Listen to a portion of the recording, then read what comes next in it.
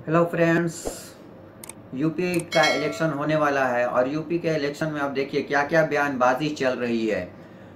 असदुद्दीन ओवैसी साहब कहते हैं कि एक हज़ार गड्ढे हैं रोडों में। तो अब योगी आदित्यनाथ बोलते हैं मुसलमानों के यहाँ बच्चे बहुत पैदा होते हैं।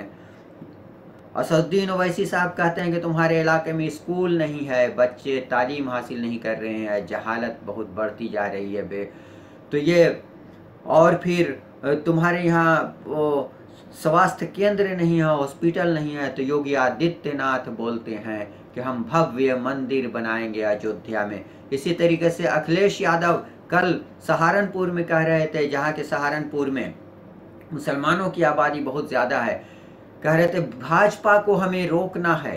लेकिन असदुद्दीन ओवैसी साहब कहते हैं भाजपा को रोकने का ठीका हमने नहीं ले रखा है। जिन लोगों को भाजपा को रोकना है पहले वो खुद जाकर अपनी कौम वालों से अपनी अपने बिरादरी वालों से बोलें कि हमें भाजपा को रोकना है और वो रोक करके दिखाए पहले। हमने कोई ठीका नहीं ले रखा है किसी को रोकने का किसी को ये कर, रोक के रखने का। मायावती बोलती, हम मुख्तार अंसारी को टिकट नहीं देंगे। असदुद्दीन ओवैसी साहब कहते हैं, टिकट तुम्हें किसी से लेने की ज़रूरत नहीं है। तुम ऐसे बनो, तुम क्यादत हासिल करो, तुम दूसरों को टिकट दो। तुम्हें दूसरों को टिकट देने की ज़रूरत नहीं, बल्कि तुम ऐसे बनो कि तुम दूसरों को टिकट दे सको। तुम्हें ये कोई दूसरा ना बोले कि तुम को टिकट मैं नहीं दूँगा, बल्कि तुम बोलो, हम टिकट देंगे तुम लोगों को। हम तुम लोगों के अंदर लीडरशिप पैदा करना चाहते हैं, क्यादत तुम्हारी होनी चाहिए।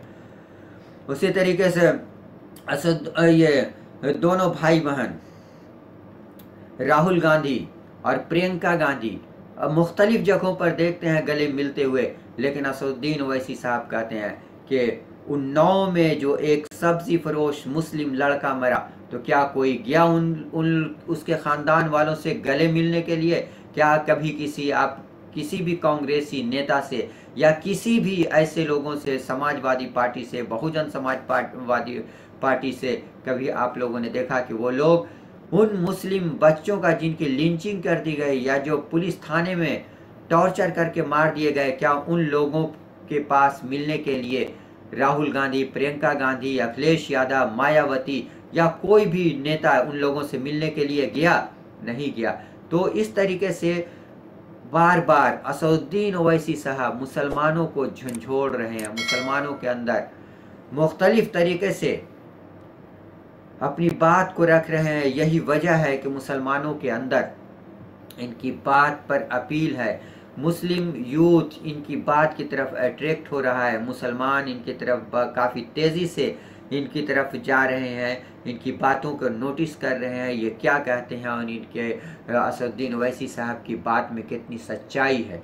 तो इस तरीके से उत्तर प्रदेश में सियासत धीरे धीरे गर्म होती जा रही है और हर सियासत और हर पहलू पर असदुद्दीन ओवैसी साहब गहरी नज़र रखे हुए हैं और यहाँ तक कि हर मुद्दे पर हर नेता को कड़ा जवाब भी देते जा रहे हैं। अब आप ही बताइए, अगर वो बोलते हैं भव्य मंदिर बनाएँगे।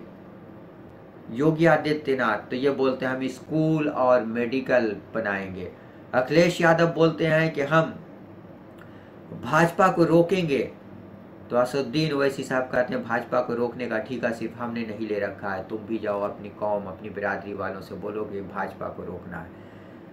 मायावती बोलती हैं कि, हम मुसलमानों को, ये मुख्तार अंसारी को टिकट नहीं देंगे तो असुद्दीन ओवैसी साहब साहब बोलते हैं, तुम्हें किसी टिकट लेने की ज़रूरत नहीं। तुम लीडर हो, तुम कायद हो।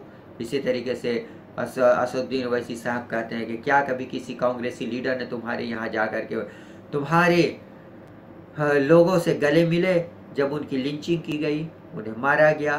तो इस तरीके से हर सवाल का जवाब दे रहे हैं असदुद्दीन ओवैसी साहब और यही वजह है कि मुसलमान इनकी तरफ़ काफ़ी तेज़ी से अट्रैक्ट हो रहे हैं।